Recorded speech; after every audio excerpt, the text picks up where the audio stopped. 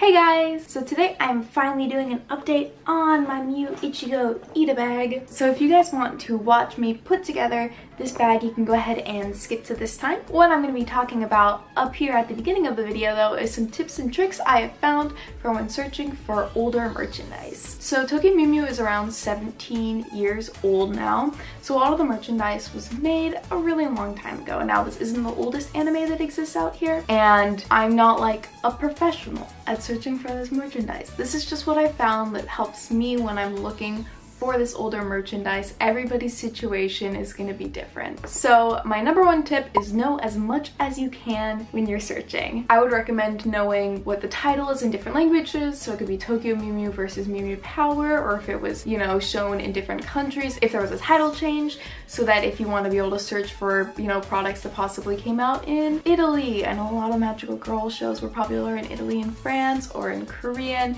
Having like a Google Doc with those language versions of the title is nice to have. Also with that, knowing all the variations of the character you're searching for's names, like Mew Ichigo or Ichigo Momoya, or Zoe if you're going with the English stuff. I don't even remember Zoe's last name. I rarely actually look for the English variation. That's just like if I'm really searching. Things are often tagged as Mew Mew Power though. What I also recommend is knowing who published it. So when I found who published the manga of Tokyo Mew Mew, which is Nakayoshi. Text here, uh, it made it a lot easier for me to search using that term because sometimes magazines that mangas were originally published in would do like stationery sets or other things. So I actually have a lot of Tokyo Mew Mew stationery now and stickers that I want to be able to add to my bag and I haven't quite decided yet how I want to do that, but I was able to find those through searching for the publisher and searching for the art that they put out. Also, if you guys are interested at all in like Mermaid Melody or Sailor Moon, the publisher who did Tokyo Mew also put those out. So there's a ton of Mermaid Melody and, or Peachy Peachy Peach, let me correct my, my English brain, or Sailor Moon, then you can search for those products with that publisher and you'll find some older really cool stuff. So what I found is you can just like make a Google Doc of a bunch of search terms and you can kind of like flip through those. You can have them in English and Japanese and you just have it all there then so you can know like what you want to search for and how you want to search for it. So my step number two is search everywhere and often. I, at some points when I was buying really actively for this bag, was searching almost every single day and I'd use the English title and the Japanese title. The specific sites that I would search often were eBay, Buyee or Yahoo Auctions and Mersey, Mersey, I'm not quite sure how to pronounce it. So these three I each searched for different reasons. eBay because Mew had a fairly, I guess, strong, at least cult English following. So a lot of Japanese sellers do list things in English on eBay for American sellers and that is where I bought a majority of my merchandise. I also of course look on Buyee, which is Yahoo Japan auctions. A ton of interesting stuff ends up on there. You do have to dig through a lot, especially a lot of like cosplay postings and stuff like that but I've always found looking through Yahoo Auctions to be a really good choice. And then Mercy or Mersai, this is an interesting one because I haven't actually bought off of them because in order to buy through them you need to have a shopping service and I haven't quite found one that I'm super comfortable with buying through there but also I discovered that the eBay seller that I buy from, which is Mitsune Japan, actually actively shops on Mersai and buys a lot of her products through there and then sells them on eBay. And you might be like, oh, that's kind of scammy, like you could get it for, you know, cheaper. But if you actually calculate the amount it would cost for me to use a shopping service, it actually kind of equals out if I just buy it through eBay. But that actually, funnily enough, happened to me with Yahoo Auctions too. The person I buy from, bless her soul, she's a real, she's really nice. She's always had like great shipping and service and stuff. It was so funny. It was actually on this rubber strap, which I talk about later in the video and what sort of research I've done with this one. And as soon as I saw it, I saw it on Yahoo Auctions and I was like, oh, I need that. So I was bidding on it and bidding on it and the bid ended early and I was like, shoot, shoot, I wanted to have this. And then a few days later, it goes up on eBay from the seller I buy from and I was like, you there, you silly goose. So I was able to get it through her, which I kind of think is funny now because I'm like, well, if I lose any other bids, I hope that you're the one winning them so that I just get the stuff from you, I guess, because it's easy. You just, you have to be wary and you have to understand that if you might be the only market for this product, which might make prices kind of crazy. So my third thing I recommend is follow sellers. If you see someone that lists an item from the anime or manga or series that you are looking into, follow them. Write down their username. If they're on eBay, you can follow them and get email updates when they post new stuff. I do this with some different sellers on eBay and I have some different ones actually on Yahoo Auctions bookmarked because I want to be able to check back in and see because a lot of my thinking is if they if these products are selling they're probably want to find more and put more up so hopefully I can get more through buying more does that sound ridiculous I'm not sure but yeah just like being very aware and keeping track of people you have bought stuff from in the past in hopes that they will post more again in the future. So those are the tips and tricks I have when it comes for searching for older merchandise. I hope that those were helpful in some way in you guys' dreams of creating beautiful Ita bags. I have had some people ask about how difficult it is to find merchandise for the other characters. There's actually someone I follow on Instagram and Twitter who's making a com complete Tokyo Mew Mew, like all the characters bag, and she's doing a really awesome job. I'm gonna link her down below if you guys want to see her photos of her bag just because I think it is very cool. I have found that Ichigo is definitely the one that there is the most merchandise of, but that being said, I do think there is a fair amount available out there if you're willing to search for all the characters. So like don't give up hope if you want to make like a mint or lettuce or a Zakuro bag because you would be surprised. Pudding especially, there seems to be a good amount of that exists or that I've seen. So if you guys want to do one, please don't give up hope and just give it your best shot. It will be expensive. So the rest of this video is going to be me talking about my bag and putting it all together. So if you want to watch that, go ahead and watch it. Or if you would like to just see the end result of my bag a bit closer up, you can go to this time and check it out. Hey guys, so I think I recorded a bit of me putting in all the bottom stuff here, which I hope I've already put into the video or I will add in later, something like that. But I do want to fix all this upper area. So I'm gonna take my bag, my little uh, slip out. I don't want to use this ribbon anymore. My plan originally was to put a chain in, but that did not happen because I do not own a chain and I could not get myself to purchase one because I was like, oh, the ribbon will be fine. The ribbon's not fine. I'm not a fan of the ribbon anymore. So I'm gonna go ahead and take it off if I can. Also, sorry if my desk looks in any way messy. I uh, do use it for things, and I'm admittedly not the cleanest person. So,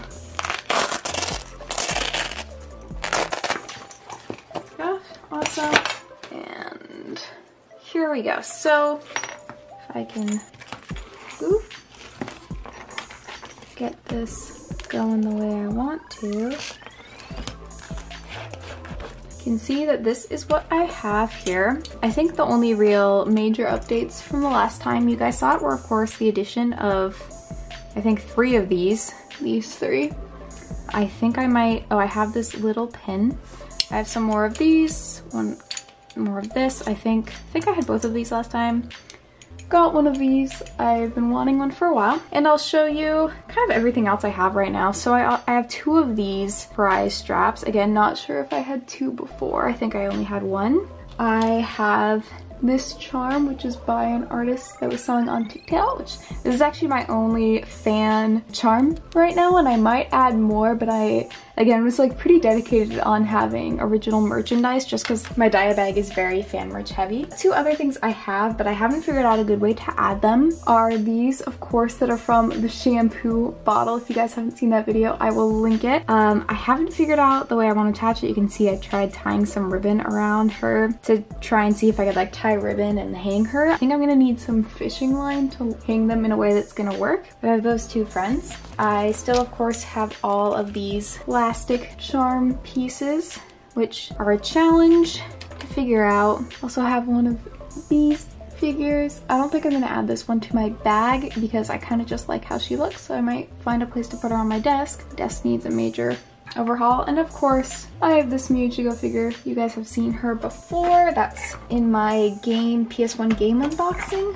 I also have this figure, which the seller I buy from kindly sent me for free with something else I bought. And I don't have her on her stand yet, but her face paint always kind of spooks me, gonna be honest. I have these two bags Not sure if these are legit merchandise, but I kind of like the idea of hanging them off of my bag, but those two. And then the piece of resistance. You guys have seen this on my Instagram if you follow me at nekomewleta. This giant rubber strap. Now, interesting fact, I tried looking into this strap because before I bought it, I had never seen it before. And so I, of course, followed the names on the back to try and look into it. Now the two names are Mikakawa Mura and Kodansha. So Mikakawa Mura was actually an artist that did mangas around the same time of Tokyo Mew Mew's publishing, but she isn't the original artist of Tokyo Mew Mew. She's just kind of a similar artist in a similar genre sort of situation. And the other name, Kodansha, is a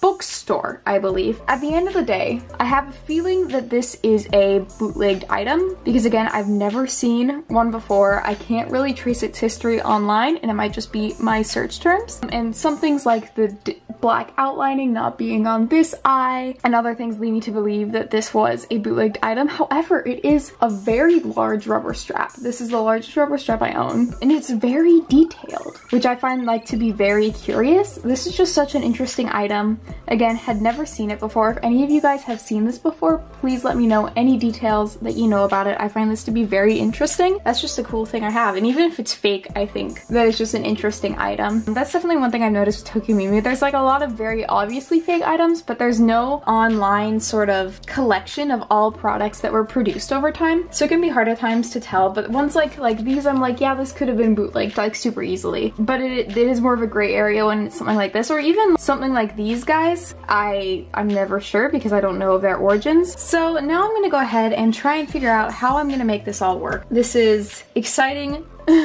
no doubt. These straps are becoming a problem for me because I'm not, they're so long and I'm just not sure where to put them that you can like see them fully. Obviously the way I have this set up is like not favorable for them to be anywhere, which is totally my fault. I did not think about it at all when setting them up. They're a, they're a thing. Also this little friend. What I might do is I think I'm gonna add some of my little friends here. I have a few of these rings left. I think I'm gonna add these to my little plastic pals so I can hang them up flat. And then I'm gonna kind of just try and decide from there about what I want to do with the rest, which is immense, no doubt. I'm glad I have these rings. I actually got them for a keychain project I did this summer at my summer job. Had to buy them myself, thanks low funding camp program, but it's definitely like a worthwhile purchase now and I can uh, put them to use in the bag. It looks like I'll have the perfect amount, so I hope I'm just not gonna need any more after this, or else I'll have to get some more.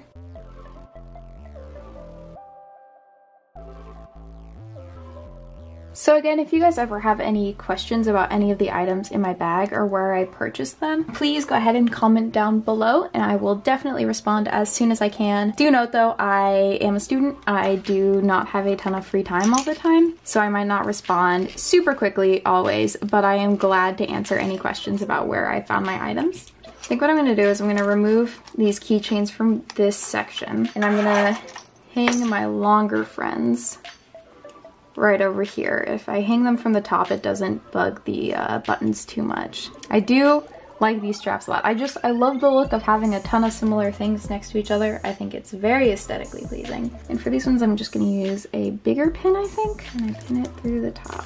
Yeah, these ones are always harder to figure out how I wanna handle them. It's gonna Maybe I'll be able to cover it up with something. Those are attached. These are made of such a weird plastic. They like kind of get melted, very odd. And then I guess I could hang these guys just up higher, up here maybe. Kind of do a similar thing where I hang them over the edge. I'm thinking that'll look okay if I do that. So maybe I can do the two for one pin thing again. If you're wondering why I'm trying to use so little pins, I actually have started running out of pins. So, and by running out of pins, I mean I lost them. I don't know where I put them. And if I need them, I'll have to find them, of course, but I'm gonna see how far I can make it with uh, minimal resources. That's looking like that'll be all right. Oof, so this is where, this is where things get difficult something like that. Maybe I should just hang them from a ribbon again and tie them off, who knows. I do think I'm gonna have this Mew Ichigo right here though. So I'm gonna remove her gold chain. What a G. I'm so sad that I'm pinning this through the Velcro because it's much harder to do than any other part of the bag. Okay, so I'm gonna take these off, just see what I have going on right now. Oh, you guys can't even see. I'm gonna move these a bit over. That's all right, I'd say so far. Then we have this blank area, which I'm hoping will be perfect for my last little friends, these guys. Maybe if I put them on one of these chains and like hang that chain across, it will end up being all right. Put this gold chain to use. So I'm hoping maybe the balls will like hold them so they aren't constantly sliding over each other, but I'm thinking maybe the layered look wouldn't be too bad.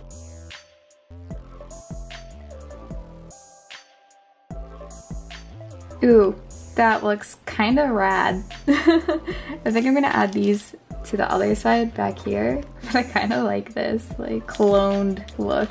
I mean, I think it is to be a pain in terms of how they move in the bag, but I kind of like it. So how am I to make sure this stays put. What happens if I clip it around? If I clip it around like that, they're all just gonna be. All right, so my camera battery died, so I had to charge it, and I only charged it a little bit so that I could keep progressing without you guys missing too much. So here's what it's looking like. I pinned down these. I'm thinking that the system will work for now. I mean, they will slide together and apart, and that'll just be something I have to deal with. I also pinned down this charm. I added this little friend in the corner, and you might be like, hey Mary, what's uh, what's this pal floating over here? How do you do that? Well, um, please don't hate me. I've done a really maniacal thing. I added a dot of hot glue and I attached an old pin to the back of them so I can just slot them in. And my thinking is because it is hot glue, it's not going to be strong enough of a glue for it to actually damage them and they'll still be able to stay in place and I can move them around wherever I see fit. And they're just such a cute thing to have. I didn't want to not have these on my bag because it just didn't feel like it would be like a, you know, full complete without them. So this is where my bag is at right now. I think I'm gonna leave it like this because I really don't feel super sure about having these on the bag. They're just so big and so like, I don't know, it has the character, you know, it has Ichigo, but at the same time, it's just, it's just large. A majority of these products were either bought through Buyee, which is a shopping service that lets you buy off of Yahoo Auctions. So a lot of these were from Yahoo Auctions Japan. A lot of them were also from eBay. And if you guys watched the beginning of this video where I talk about tips and tricks towards making your Ita bag, I kind of talk about my different experiences with buying through those services. So I'm hoping that that was helpful. So here is my updated bag. In terms of plans for the future with this bag, I am pretty happy with it. The only thing I don't like is how much space these pins take up, but I love them. So I'm not gonna like change them. Of course, I kind of want something to put here, so maybe I'll try and get another pin I can put there. Would love to have like two more buttons down here. Would love more of these keychains, though I'm not sure where I'm planning on putting them. If I were to get more, it'd be cool to have like a, a row or like a a grapevine style sort of thing. I always want more of these. I don't think I should buy more. There is one more style of Ichigo plush I do want though that I would love to have for my bag, but I'm not sure if I will be able to get it. It was There was one on auction this last week, but I didn't go for it because I'm trying to save up my money a bit right now and not spend so heavily. This summer was a pretty spending heavy time for me, so I'm trying to hold back a little bit on that. So this is what my bag looks like. I've said that a billion times. I'm gonna go ahead and put it back inside the bag now though, so that we can get the full experience. And I'm gonna knock over my camera. Yeah, there is just, hmm, it's interesting how you can see so much more blank space when you put it in the context of the actual bag. And I'm hoping the shine, the glare isn't too bad. Maybe I'll not zip it up all the way. Hoping the Velcro will work because I've added so many pins and stuff to the back of it. I think it'll be okay. It's pretty strong Velcro. So here we go. Here's the bag. Again, this is still a work in progress. I don't think my Ita bags will ever be 100% completed. This section is definitely what's gonna probably see the most change. Again, if I get more keychains, I might put like a lineup up here. This charm's really big though, so I'm not sure where she'd end up going. Still love this, still considering um, moving into getting some fan merchandise maybe for filling in the blanks. But this is my little Ichigo army. Thank you guys so much for watching. I know I've been talking about this video for a while, but thank you for being so interested and checking it out. Yay! I hope that you guys are all having an amazing week. Thank you all so much for watching this video. If you guys have any other questions about Ita bags, I'm actually gonna link some other videos that I find helpful up in the info. These are by Deja Vudi. So if you guys want some more Ita Bag stuff in your life, I recommend checking their videos out. If you have any questions, feel free to ask me down below. I am not a professional, but I like to help in any way that I can. Again, I'm not trying to claim I'm an expert in any way. When it comes to Ita Bags, I just really enjoy these. if you enjoyed this video, feel free to give it a like or subscribe if you'd like to see more. Thank you guys all so much for watching, and I'll see you all next time. Bye-bye!